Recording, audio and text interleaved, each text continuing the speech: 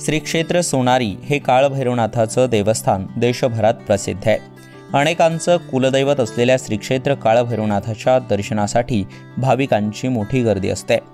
याच श्रीक्षेत्र सोनारी गावात दोन ते अडीच हजार माकडं आहेत. श्रीक्षेत्र सोनारी येथे पंधरा दिवसांपूर्वी सायंकाळच्या साडेआठ ते नऊ वाजता एका माकडिनीच्या पिलाचा जन्म झाला.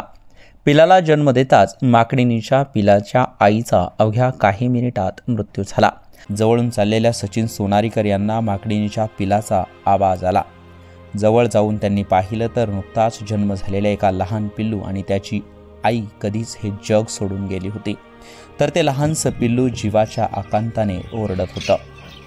त्या लहान पिलाला सचिन सोनारीकर यांनी ताब्यात घेतलं घरी आणलं दूध पाजलं स्वच्छ कपड्याने पुसून घेतलं त्याला आंघोळ घातली आणि आज ते त्या पिलाचा सांभाळ करतायत.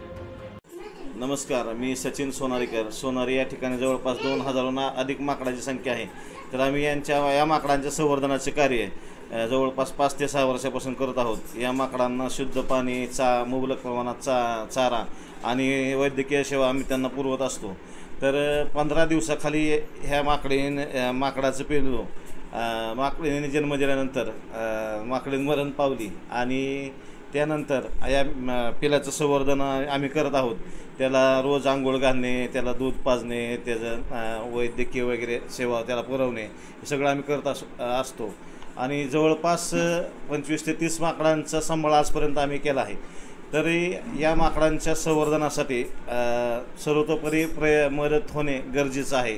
याच या ठिकाणी जवळपास दोन हजारहून अधिक माकडे असल्याने येथील प्रशासनाने यांच्या पाण्याची आणि चाऱ्याची मदत करावी एवढीच विनंती.